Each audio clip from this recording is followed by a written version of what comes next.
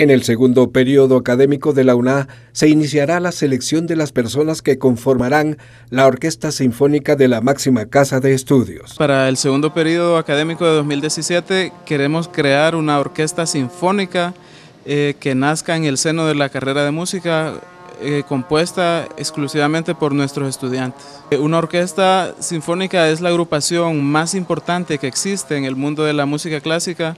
Eh, las obras más importantes compuestas para el repertorio tradicional se encuentran pensadas para esta agrupación.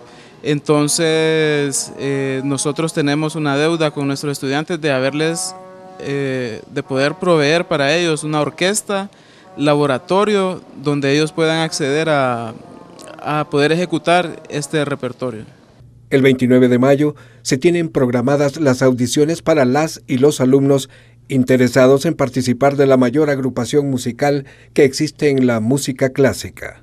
Los candidatos serán seleccionados según el desempeño que ellos tengan en su instrumento eh, y tenemos ya asignada la fecha en la cual se llevará a cabo la audición en la que vamos a definir el orden en el que se sentarán y, y quienes podrán ser parte de esta orquesta.